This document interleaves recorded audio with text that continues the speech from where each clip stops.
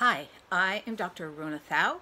Today I'm going to give you three or so reasons why you get cravings, food cravings, possibly even beverage cravings, and a few ways that you can practice to cut those cravings and get them out of your life. So, why do we get cravings? You may find that you crave something crunchy, salty, candy, sugar. Um, I'm going to conveniently leave out caffeine because, but that can be a trigger too. Uh, or a packaged food um, that you eat, frozen dinner maybe, maybe McDonald's or Burger King or a fast food. So why does this happen? So a craving can be set up like an unhealthy craving. You might crave something like um, a food that, that's great, but things that you crave that don't satisfy your need and then you're still hungry. I know I've had this happen and I'm sure that you've had this happen. You're like, oh my God, I really want to have a insert, whatever that is, right? And it happens a lot.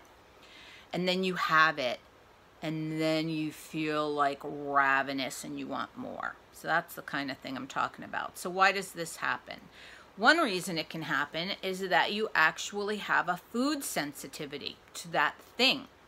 I'll give you an example. It could be sugar, corn, wheat, gluten, stuff like that, um, or other, lot, plenty of other things, right? So, well, how do you know? Well, a food sensitivity is different than an allergy. Like if a person has a shellfish allergy and they or you have any kind of an allergy and you consume the food and your throat closes and you may go into shock and need an EpiPen. I'm not talking about that kind of an allergy that really is a punch in the, you know, punch in the head. I'm talking about a sensitivity. And so they're not as dramatic, but they can create really nasty and dramatic changes, negative changes in the body. So a few things I know I'm sensitive to. Um, what can happen is that I already said you crave the, the thing.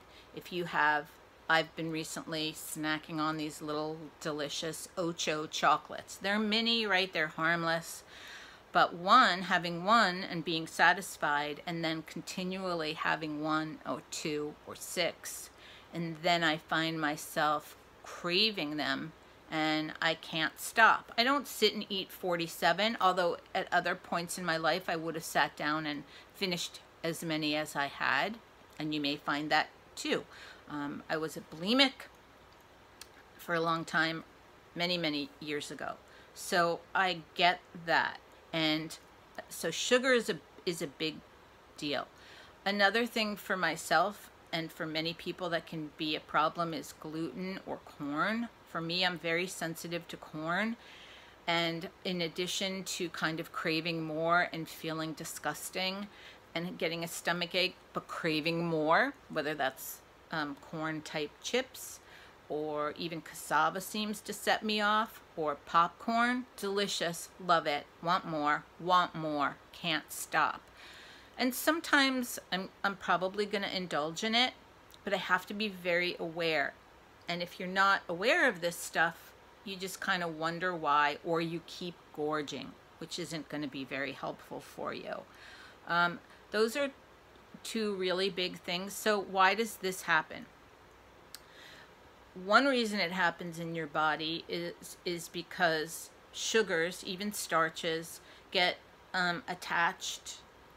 Well, a couple different reasons.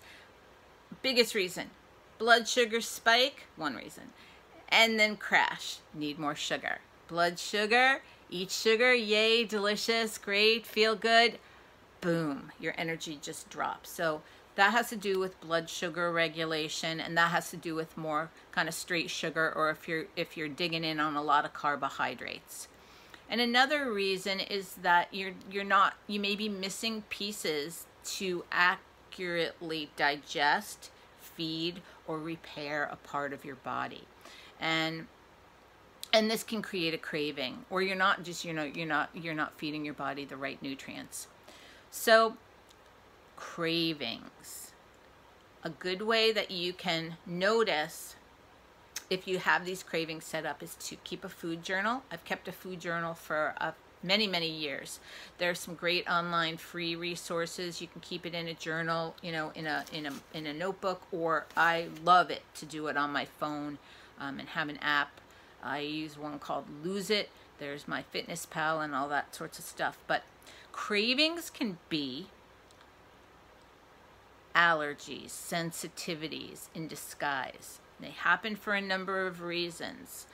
Um, and if you are experiencing cravings and you're not sure what to do, it's not a one size fits all kind of deal.